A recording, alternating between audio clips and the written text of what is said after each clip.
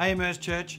Mark and Nina here. Very excited to tell you about our uh, Israel tour coming up next year in uh, February 20th to March the 3rd.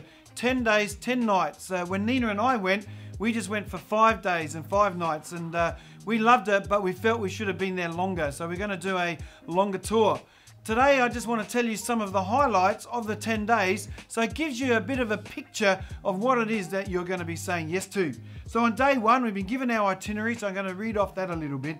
But on uh, day one, we're going to actually start with a welcome dinner in the port of Jaffa. Jaffa is where Peter got his vision. It's where Tabitha was uh, uh, raised from the dead and where Jonah went uh, to his uh, tour on the boat. On day two, we're going to Caesarea Maritima, which is the Roman capital of Judea. You're going to see some great sites, excavations there. It's quite a large space and it's quite interesting to walk through those excavations. Also, from there, we're going to Mount Carmel, and this is where the prophet Elijah confronted the prophets of Baal. So that's going to be quite interesting. Followed with food, dinner, a nice dinner at the Sea of Galilee. On day three, we're actually going to spend the whole time on the Sea of Galilee. It's beautiful, it's amazing. You'll be able to see where Jesus walked on water. You'll be able to see where Jesus calmed the storm. You'll be able to see where Jesus went over to the other side, to the uh, Gadarenes. It's so amazing. We're going to have lunch there and uh, we'll have worship there. Then we're going to go to the Mount of Beatitudes where Jesus did his great sermon and finish once again on the Sea of Galilee. On day four, this was, I, I love this one. We're going to the Nazareth village, and this is the village that they've restored to its original form of Jesus' days. This would have been the village where Jesus grew up, he played.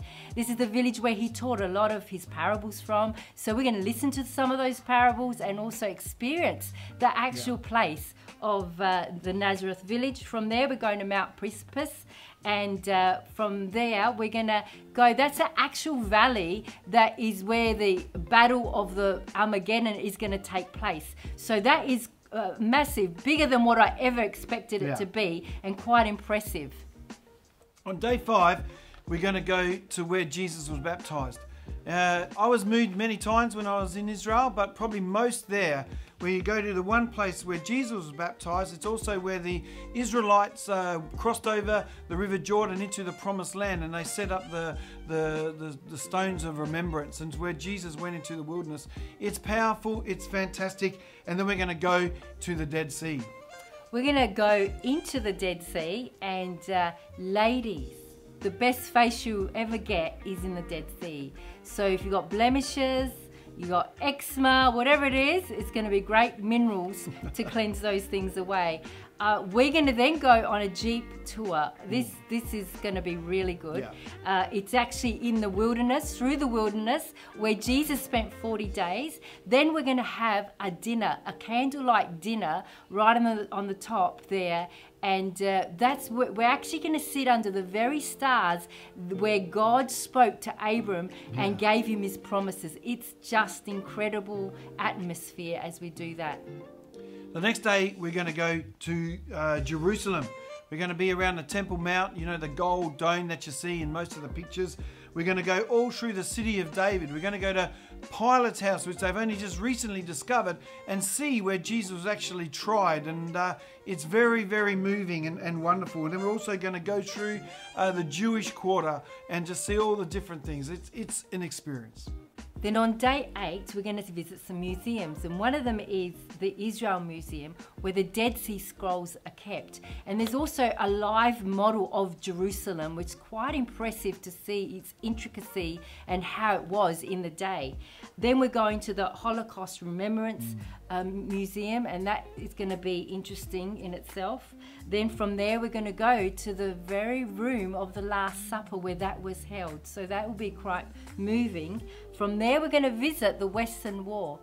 Uh, this is going to be really interesting because it's actually going to be, an, we're going to visit on Shabbat, which is actually the Sabbath. So it will be very crowded, but we'll really get a good feel of what they do on the Sabbath at the Western Wall.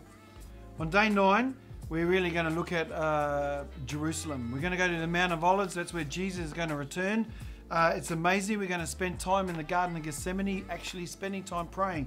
That's where Nina really got a touch, and some of our more moving pictures from our time in Israel happened uh, at the Garden of Gethsemane. We're going to go to the Garden Tomb from where Jesus was resurrected, and we're going to just have an experience of Jerusalem that will very much change you. And day 10, we're going to the Elah Valley. I'm looking forward to this because I didn't go to this place. And it's actually where David fought Goliath. So that'll be just interesting to see and remember how it all happened in the visual place that it's going to be. There's so much more. We've just talked to you about some of the highlights. Uh, it's for all your dinners, all your breakfast, all your accommodation, 3,200. That's twin person, uh, twin share per person. So uh, you got to look after your own flights because everyone's going to be doing different things. But 3,200 is the land package part of that. We need you to go to emergechurch.life, think about it, pray about it, talk about it. We'd love you to host you, take you through the Holy Land. I think every Christian should do it at some stage. Love you to do it with us. February 20th to March the 3rd next year. God bless you. Please get your name in before August 25th. It just helps us organise stuff. God bless you. Thank you very much.